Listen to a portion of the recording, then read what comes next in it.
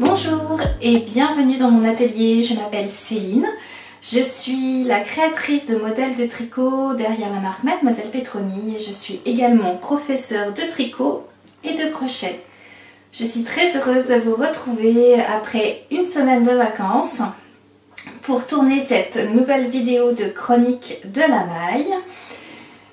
Je souhaite la bienvenue à toutes les personnes qui découvrent euh, ma chaîne et cette vidéo. Pour rappel, il s'agit d'une vidéo dédiée aux arts créatifs, aux loisirs créatifs autour des arts du fil et plus particulièrement autour des arts de la maille qui sont le tricot et le crochet. Donc bienvenue, j'espère que ce type de contenu vous plaira. Il s'agit d'une vidéo que je publie toutes les semaines, euh, assez courte, au maximum 25-30 minutes. J'essaye en tout cas. Et je fais euh, ici la présentation des dernières euh, petites créations que je réalise. Donc dans tout type d'art du fil, mais c'est vrai que plutôt orienté vers le tricot et le crochet. Aujourd'hui, euh, je vais vous parler de petits cadeaux que je suis en train de réaliser, ou certains que j'ai déjà euh, terminés, pour offrir à mes proches euh, à l'occasion de leur anniversaire. Donc il y aura au programme du crochet, un tout petit peu de couture et du tricot. Juste pour rappel, je note dans, les, barres dans la barre de description en dessous de la vidéo, donc là où c'est marqué, je crois, plus en toutes lettres maintenant, c'est écrit comme ça. Vous pouvez dérouler et vous avez le contenu euh, de toute la vidéo, les noms des patrons que je cite, les noms des laines et des fils du matériel que j'utilise, ainsi que toutes les autres références avec les liens pour que vous puissiez euh, en savoir un peu plus concernant euh, tout ce qui est présenté dans mes vidéos. Avant de commencer, j'ai pour usage de parler de ce que je porte quand c'est quelque chose que j'ai réalisé par moi-même, donc quand c'est du fait main. Aujourd'hui, je porte mon modèle de shrug. Donc le shrug, en traduction française, on pourrait dire qu'il s'agit d'un chauffe-épaule. Euh, il s'agit du shrug Agatha, que c'est un patron que j'ai publié en décembre 2021, donc ça remonte maintenant un petit moment. je vais me lever juste pour que vous puissiez voir en quoi ça consiste en fait. J'ai pas beaucoup de recul donc vous voyez pas grand chose, mais voilà, si vous voulez voir un peu le, détail euh, des torsades sur les manches. Et je l'ai tricoté avec le fil euh, qui s'appelle Scandaleuse, mais qui porte très bien son nom parce que c'est un fil qui est très doux, qui est composé de 50% de mérinos et 50% de mohair. Euh, c'est un fil fingering et c'est la marque Une ou deux mailles, donc qui est une teinturière indépendante française. Je me rappelle plus des deux coloris, mais de toute façon, je mettrai le lien vers ma fiche Ravelry, comme ça, ça vous permettra d'avoir le nom. Euh, je crois qu'il y a un coloris qui s'appelle Cappuccino, mais l'autre, je me souviens plus, puis je sais plus lequel est lequel, donc le mieux, c'est que vous puissiez aller voir euh, sur euh, ma fiche Ravelry. C'est un modèle qui est facile à tricoter, contrairement à ce qu'on pourrait penser avec tous les petits détails de torsade qu'il comporte et le point texturé. En fait, il s'agit d'un grand rectangle et après, il y a un un petit montage avec des coutures. On relève pour faire des manches qui sont des manches très courtes et qui sont tricotées elles en circulaire. Voilà, il y a un petit peu de technique d'intarsia, mais c'est vraiment pas compliqué et ça permet, pourquoi pas, de découvrir euh, l'intarsia. La seule grande difficulté de ce modèle, c'est en fait qu'il est long. voilà, il c'est assez long à tricoter, donc il faut s'armer de patience, notamment pour faire cet immense rectangle qui forme euh, tout le dos et euh, qu'on plie ensuite. Donc voilà pour ce que je porte aujourd'hui. Je finirai la vidéo comme d'habitude avec un tout petit peu de blabla et surtout mes coups de cœur et je referai le tirage au sort du fameux concours We Are Knitter que j'avais fait dans ma vidéo du mois de novembre mais comme la personne qui avait été tirée au sort à cette époque là jamais, euh, ne m'a jamais contacté euh, donc j'avais dit que euh, elle pouvait me contacter jusqu'au 24 février. La date est passée, donc j'ai refait un tirage au sort, et, au sort pardon, parmi les commentaires de la vidéo du mois de novembre et ainsi je donnerai le nom de la nouvelle gagnante. Le premier ouvrage dont je vais vous parler aujourd'hui, c'est cette petite corbeille au crochet. Donc c'est le premier euh, petit cadeau que je vais offrir à, une de mes amies euh, pour son anniversaire. C'est un modèle très facile à, à, crocheter, pardon, excusez-moi, ça commence fort. Les habitudes reprennent vite le dessus. Euh, alors c'est un modèle dont vous ne pourrez pas trouver le patron puisque c'est un patron que propose la boutique dans laquelle je travaille à Chambéry et dans laquelle je donne des cours. Donc c'est euh, la Mercerie Café Créatif et c'est Caroline qui donne des cours de crochet pour débutants euh, dans cette boutique qui propose de réaliser cette corbeille qui est réalisée dans un fil très épais. Je vais vous, en parler euh, assez rapidement. C'est un, un, fil qu'on crochette soit entre un crochet 10 non, je crois que c'est ça, crochet 10 ou 12. Voilà. Pour ma part, j'ai réalisé la corbeille dans un crochet numéro 10 pour qu'elle ait un peu plus de tenue et de, densité. Je mettrai quand même un ou deux liens vers des patrons similaires pour réaliser ce type de corbeille puisque c'est comme quelque chose d'assez facile. On commence par, euh, le fond. On va monter un anneau magique et autour duquel on va venir euh, crocheter en maille serrée un cercle. Ensuite, pour pouvoir, euh, sans s'arrêter, sans couper le fil, on vient piquer un rang de maille serrée uniquement dans la partie de la maille de devant ou la maille de derrière, je me souviens plus. En fait, on vient piquer, au lieu de piquer sous les deux brins de la maille, on vient piquer sous un seul brin de la maille, ce qui permet de mettre en forme la corbeille, Là, on va venir crocheter en rond, on ne fait plus d'augmentation puisqu'on a fait des augmentations uniquement ici pour créer, euh, le cercle. on va simplement crocheter en maille serrée en rond pendant, sur une certaine hauteur. Puis ensuite, on vient former les petites anses. On rabat d'abord quelques, mailles, on continue à crocheter, on rabat quelques autres mailles, on continue à crocheter, puis on vient remonter des mailles en l'air pour recréer la anse, on continue à crocheter le tour, on fait pareil de l'autre côté, on termine par un rang de mailles serrées, puis il suffit de venir euh, terminer l'ouvrage avec une maille coulée. J'ai utilisé une pelote entière, c'est ça l'avantage aussi euh, de, de l'atelier que propose euh, ma collègue Caroline à la mercerie, c'est qu'on peut utiliser une seule pelote de Nova Vita 12 de chez DMC. Voilà, c'est le fil que j'ai utilisé là. Donc là, le coloris, il s'agit du 0,73. Donc c'est un bleu pétrole ou on pourrait dire, oui, euh, je sais pas comment on appelle ça, bleu pan plutôt. C'est, euh, voilà, bleu pan plutôt. Et donc euh, il est bien noté qu'on peut également, c'est un fil qu'on peut aussi étricoter et utiliser pour du macramé. Alors pour le macramé, euh, à partir du moment où on n'a pas besoin de séparer les brins, puisque c'est un fil chaînette, hein. il est, en fait il est tricotiné. Je vais vous montrer un peu plus près, je sais pas s'il va arriver à faire la mise au point. Il faut que je cache ma tête. Voilà, il est tricotiné, donc du coup on ne peut pas séparer les brins. L'avantage c'est qu'il est très facile à crocheter puisque les brins ne se séparent pas, mais pour le macramé on ne peut pas euh, par exemple peigner les franges quand on a besoin de peigner les franges. Il est noté qu'on peut également le tricoter en aiguille 12. Donc il est plutôt recommandé d'être crocheté en, crochet 12, mais moi j'ai préféré le faire en crochet 10. C'est d'ailleurs Caroline qui m'avait prêté un crochet 10 parce que je n'en avais pas. Et euh, ce qui permet de donner une bonne tenue à la, à la corbeille. Alors il m'a resté un petit peu de fil de ma pelote. C'est une pelote euh, de, je ne me souviens plus le poids, 250 euh, grammes et il y en a 50 mètres, 55 mètres. Donc c'est un fil euh, super bulky hein, qui est très très épais. Et donc j'ai décidé de faire un petit, un petit tassel, un petit pompon. Je suis pas sûre que ce soit quelque chose que je vais conserver. Je vais voir.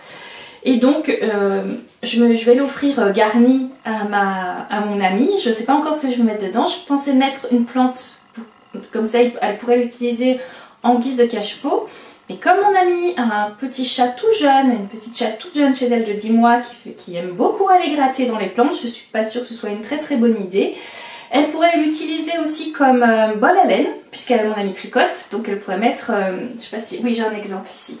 Voilà, j'ai un, un petit cake dedans, donc dedans, et puis faire sortir le brin euh, de fil euh, par une des anses. J'avoue que j'ai pas essayé, mais ça pourrait peut-être être intéressant. Ou alors, ben, je, elle peut l'utiliser. Moi j'aime bien ce type de corbeille, je m'en suis crocheté quelques-unes pour mettre dans ma commode et j'aime bien mettre euh, mes, ma, lingerie dedans parce que ça m'évite qu'elle elle tourne dans mes tiroirs. Donc voilà, je mets ma lingerie dans plein de petites corbeilles comme ça, j'aime beaucoup. Et ben voilà pour le premier ouvrage, donc le premier cadeau que je vais offrir à mon ami. Et ben je, voilà, je vous invite à découvrir ce type d'ouvrage parce que c'est vraiment très facile à réaliser, c'est vraiment accessible pour euh, débuter le crochet. La seule difficulté pour moi, peut-être, c'est de ne pas utiliser un crochet 10 si vous débutez, mais vraiment utiliser un crochet 12 qui est recommandé par le fil parce que sinon euh, ça commence à devenir dur au bout d'un moment de, de venir piquer et serrer les mailles et ça peut être inconfortable au niveau des mains et de la prise en main. Mais sinon, euh, vraiment, euh, c'est quelque chose qui est très satisfaisant. Moi, ça m'a beaucoup plu parce que je crois que j'ai dû le faire en allez, tout, tout, maximum une heure et demie, j'ai dû réaliser la corbeille. Donc c'est quand même super satisfaisant pour avoir un petit objet euh, fait main réalisé très rapidement. Je vous promets, je, je vais essayer de trouver des liens et vous les mettre en bas vers des tutos. On en trouve hein, sur internet pour réaliser ces petites corbeilles au crochet pour que vous puissiez réaliser la vôtre. Euh, si cela vous fait envie. En tout cas, j'étais très contente du fil. Euh, je le trouve très doux et très agréable. Euh, justement parce qu'il est monté en, chaînette, c'est-à-dire qu'il est tricotiné et ça évite vraiment de, quand on crochette au début, d'éviter de, de, ne prendre que certains bouts du brin du fil. Puisque, alors je vous ai pas dit, c'est du 100% coton, pardon. Souvent les fils coton, la manière dont ils sont filés, c'est normal, hein, ils ont plusieurs brins, surtout quand on commence à avoir un fil assez épais. Et on a tendance à pas prendre tous les brins du coton et c'est un peu pénible quand on crochette. Voilà. Mais là c'est pas vraiment le cas, euh, c'est pas du tout le cas puisqu'il n'est pas filé de la même manière et c'est très confortable pour, euh, pour crocheter quand on débute. Voilà pour mon premier cadeau. Le deuxième cadeau c'est pour euh, un ami qui est très important pour moi parce que c'est un de mes témoins de mariage. Donc voilà pour son anniversaire et c'est quelqu'un qui écrit beaucoup, qui est toujours qui a toujours avec lui un carnet ou un cahier. Voilà, il aime beaucoup écrire, il a déjà fait des ateliers de poésie, donc je sais que ça pourra lui servir.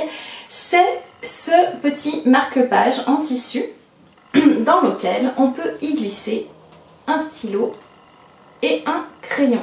Voilà. Je montre, en plus l'avantage c'est que les petits euh, étuis font qu'on peut vraiment le transporter sans que ça tombe.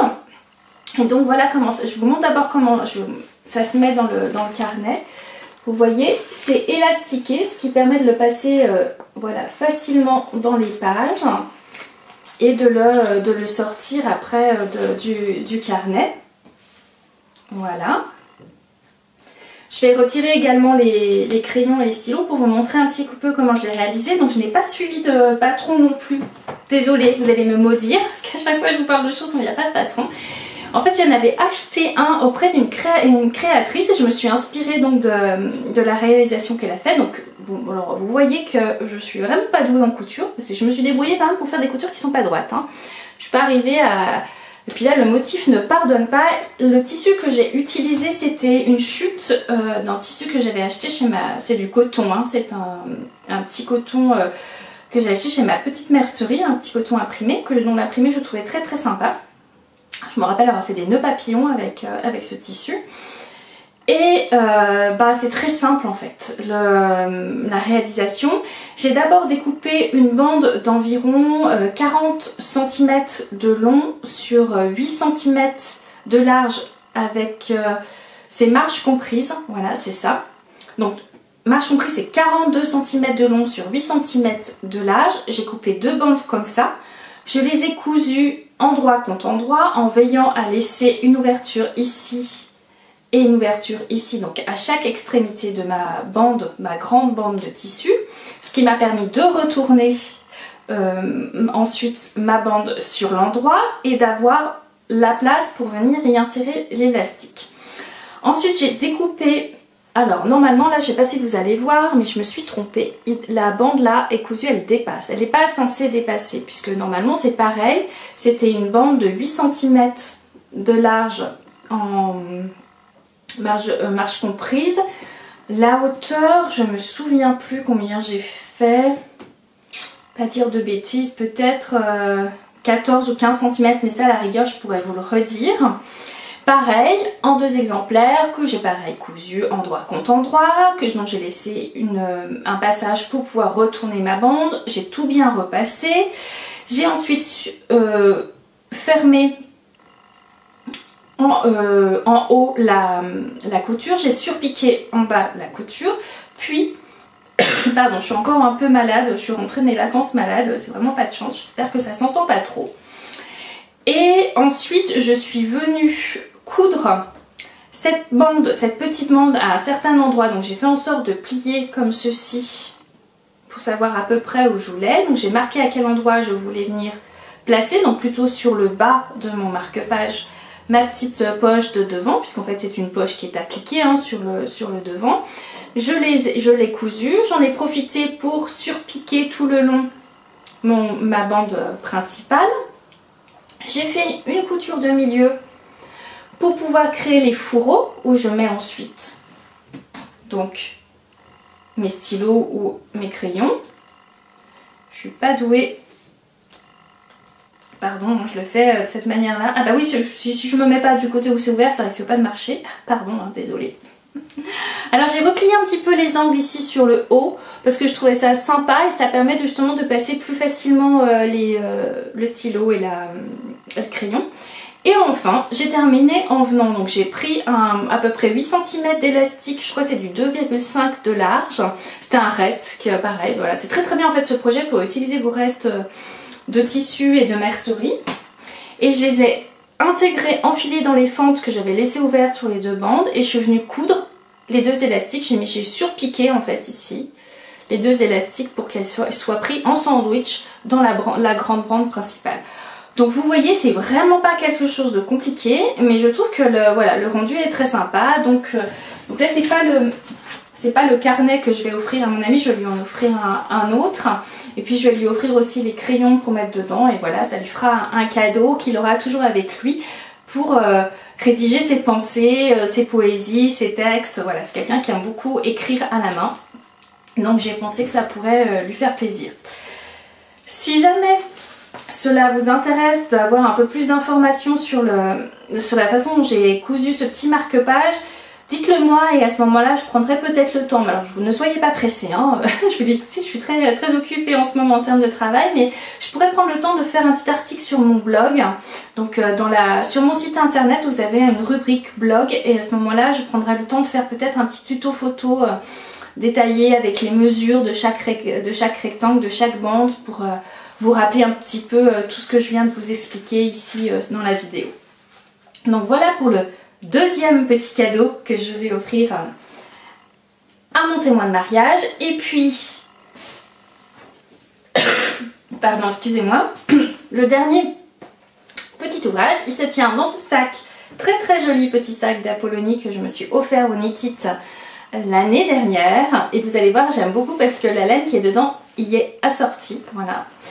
Je ne vais pas beaucoup changer de coloris, vous allez voir. Je suis un peu obsédée par le, Bourgogne hein, en ce moment, par tout ce qui est euh, Bordeaux, Lisvin, Prune. Voilà, c'est un peu mes, couleurs. J'ai monté euh, pendant euh, mes congés, j'en ai profité, le bonnet que c'est le patron que j'avais sorti dans, alors je sais plus si c'était pareil, je crois pas dire de bêtises, mais il me semble aussi que c'était fin 2021.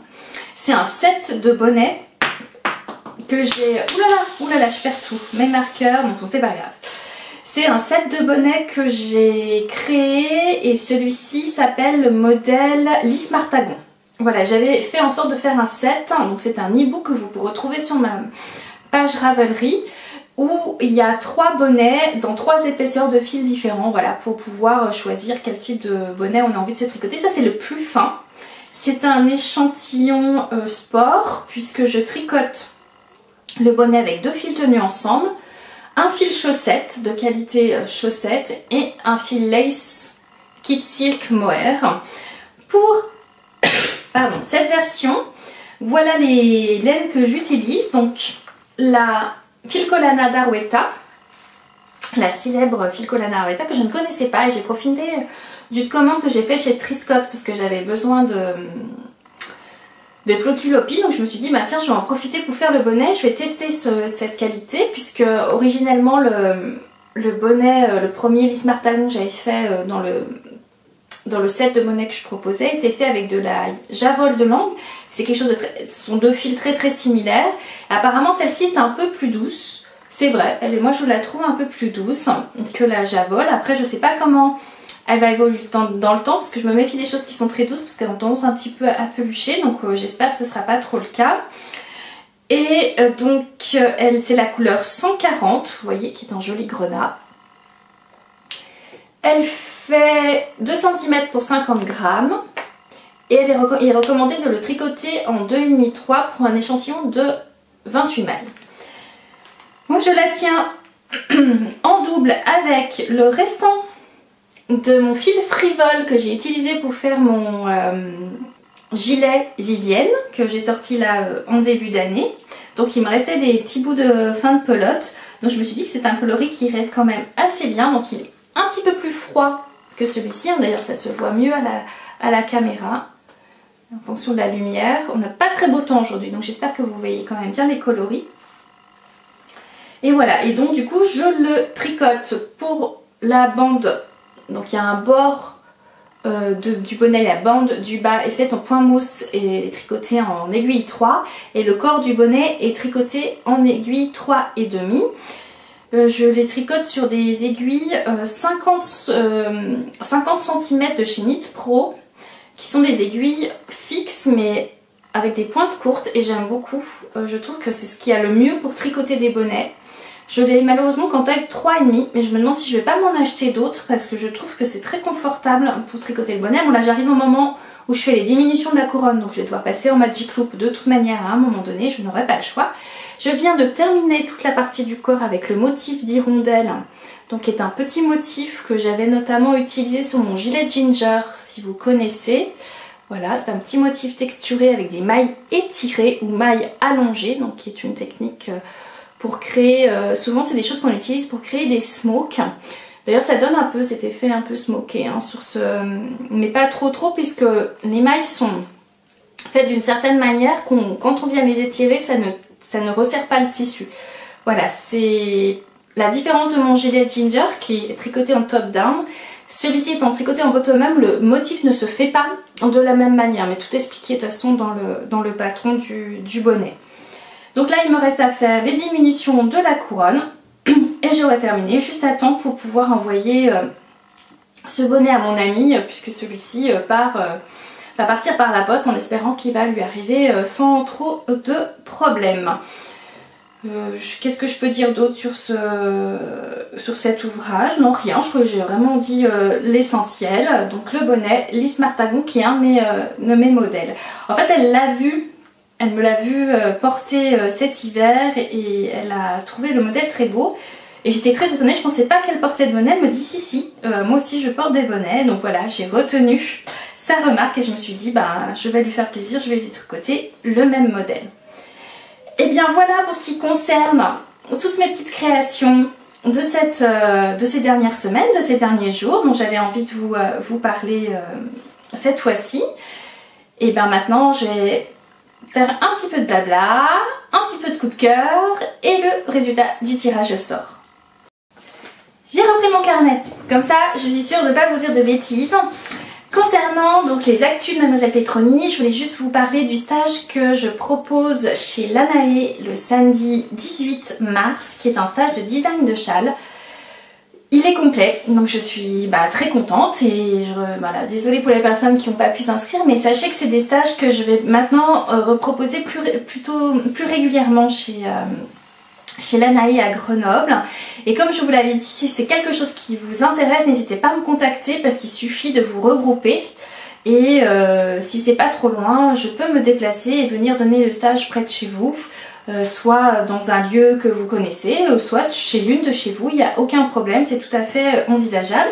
C'est des stages que je propose à maximum 5 participants, puisque l'idée est que sur toute une journée, matin et après-midi, donc 2h le matin, 3h l'après-midi. C'est également ce que j'avais proposé au Chaki Tricote l'année dernière. Donc pour les personnes qui l'ont réalisé, enfin qui ont eu la chance d'y participer, pourraient témoigner de, comment ça s'est passé.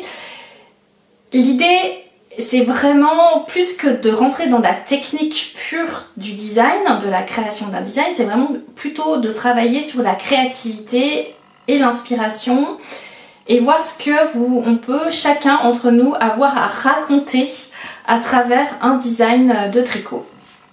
Donc on part d'une photo ou d'une image mentale, fait un petit exercice d'écriture très spontané, très rapide, très facile, à, partir de laquelle on va venir raconter une histoire.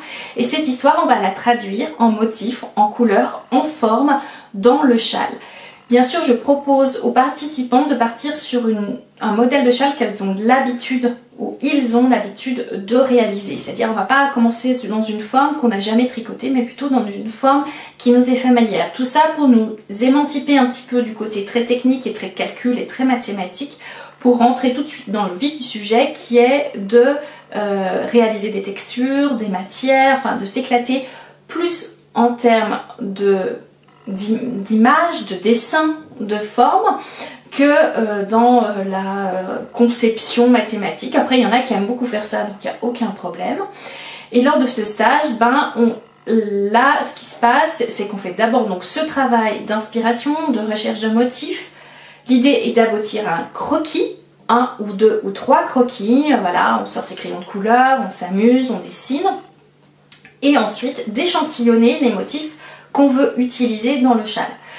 Et de lancer, de commencer à se, lancer, de voir quelles sont d'écrire en fait les étapes de construction. L'idée n'est pas d'écrire un patron, mais d'écrire les étapes de construction pour voir si c'est réalisable. Et ensuite, donc au bout de ces 5 heures, on peut rentrer chez soi et se lancer, choisir ses laines dans son stock, acheter les laines si c'est nécessaire et lancer et créer son propre châle qui est un châle à son image et qui raconte l'histoire qu'on a bien voulu raconter, qui nous est propre. C'est quelque chose de très personnel en fait cet, euh, atelier et j'aime beaucoup le proposer. Donc voilà, je voulais vous, en reparler, vous dire que c'est tout à fait possible, que je peux venir me déplacer. Alors bien sûr, euh, en fonction de ce qui est possible, hein, euh, après on en discute, c'est plus difficile moi en habitant dans les Alpes de venir me déplacer dans le Pays Basque ou la Bretagne. Mais après, voilà, tout est, on, peut, on peut en discuter en fonction des opportunités de là où moi aussi je me, trouve à, certains moments. Donc dans ce cas, n'hésitez pas à envoyer moi un petit mail et, on échange à ce propos. Autre chose en termes d'actu, ma page Patreon. Vous savez euh, que j'en parle régulièrement, donc vous pouvez la rejoindre à tout moment si le cœur vous en dit. C'est une page Patreon que je dédie plus à mon projet euh, d'art textile que j'ai lancé là maintenant depuis un an. Et sur cette dernière semaine, vous avez euh, accès à un article audio, donc un petit podcast de 20 minutes. C'est un des articles, un des contenus que je propose tous les mois. Euh, donc là, vous avez accès cette semaine à ce podcast audio qui s'appelle Confidence et là où je me livre un petit peu plus personnellement euh, à travers cet article audio. Voilà pour le blabla. Pour ce qui concerne les deux coups de cœur dont je voulais vous partager aujourd'hui, le premier, c'est une chaîne YouTube que, alors, dont on me parle depuis très longtemps, mais que j'avais pas pris la peine de regarder jusqu'à présent, ce qui est bien dommage, parce que alors j'ai pris un grand plaisir à euh, écouter et regarder Paul du podcast Tricot Valpolocello. J'ai donc regardé son dernier épisode où il le tourne en Espagne. Et alors, j'ai beaucoup aimé la manière dont Paul présente son travail. C'est quelqu'un qui est d'une grande finesse, délicatesse, il s'exprime mais tellement bien. Je voudrais euh, pouvoir avoir la même éloquence que lui, la justesse de la manière dont il explique son travail. Pour moi, c'est un vrai gentleman du tricot. Voilà, c'est vraiment tout à fait ça qui ressort dans ses vidéos et j'apprécie énormément. Voilà, euh, c'est des oui, pour moi, ça a de la valeur, la manière dont, il s'exprime. Et en plus, il tricote de toutes les façons possibles. En fait, il n'a pas de limite. Et ça, j'adore. C'est-à-dire qu'il va euh, proposer euh, des choses euh, tout à fait dans l'air du temps, mais il va aussi proposer des ouvrages qui tricotent à plat et qu'il coud. Il n'a pas de limite dans la fait de réaliser des, tout type de textures, de jacquard. Voilà, c'est quelqu'un qui est audacieux et qui se lance et qui a envie d'apprendre. Et moi ça j'adore parce que voilà c'est euh, une approche du, tricot qui est, euh, on va dire, euh, sans complexe et qui ouvre tellement de possibilités créatives que moi ça m'inspire et en tout cas ça se rapproche des valeurs que moi j'ai dans ma manière d'aborder les loisirs créatifs, c'est-à-dire cette volonté de toujours apprendre, apprendre, sortir de sa zone de confort, aller voir ce qu'il est possible de faire. Tant pis, on se trompe, on recommence. En se trompant, on apprend, on progresse. Voilà, tout ça fait que bah, ça m'a donné envie de voir ses autres vidéos. Je, bien sûr, je me suis abonnée, donc je suis pas sûre de revenir sur les anciennes vidéos, mais je me suis abonnée à son podcast parce que j'ai hâte de regarder sa prochaine vidéo. Donc voilà pour euh, mon premier coup de cœur et mon deuxième coup de cœur, c'est un compte Instagram il s'agit d'une euh, tricoteuse qui habite qui est italienne, qui habite de l'autre côté des Alpes, mais vraiment de l'autre côté de là où moi j'habite, mais du côté italien, dans la vallée d'Aoste. Si je me trompe pas, Léla, tu me diras si je me trompe ou pas. Donc il s'agit de Léla, du compte Léla Lexer sur Instagram. Je vous mettrai donc de toute manière son...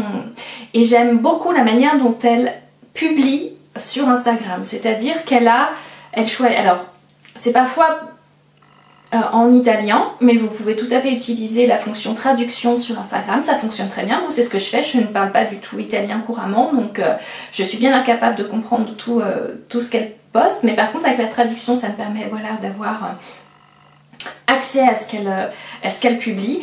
Et j'aime, d'abord, elle fait des très belles photos, c'est voilà, son, son, fil, son fil est très beau, mais surtout, elle a une manière de introduire ses posts sur Instagram avec beaucoup de poésie, pareil, de, choix, de délicatesse. En fait, il y a quelque chose de très... Euh, pareil, on est donc dans, vraiment du gentle tricot, quelque chose de d'élégant. voilà, et ça euh, j'apprécie, c'est des choses que moi me touchent et me parlent.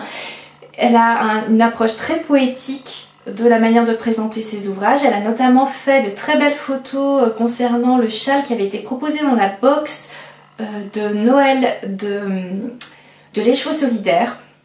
Donc elle l'a fait, elle a réalisé ce châle et les photos qu'elle a fait mettent énormément en valeur, je trouve, ce design.